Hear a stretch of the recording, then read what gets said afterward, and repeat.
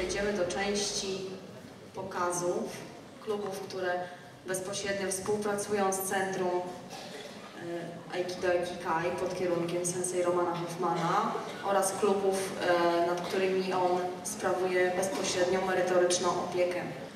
Zapraszam na scenę klub Aikido Ikikai, oddział Bełchatów. Pokaz prowadzi Marta Wąs, Szoda Aikido wykształcenia pedagog, wychowawca dzieci i młodzieży, instruktor rekreacji ruchowej ze specjalnością samoobrona. Aikido ćwiczy od 9 lat. Marta jest instruktorem w bełchatowskim klubie Aikido Ikikai, gdzie prowadzi zajęcia dla dwóch grup wiekowych. W Bełchatowie regularnie ćwiczy 15 osób dorosłych oraz 25 dzieci.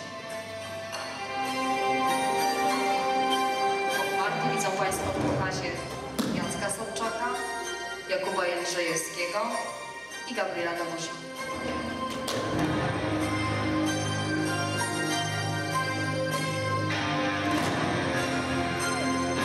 Oraz oczywiście Michała Wąsa.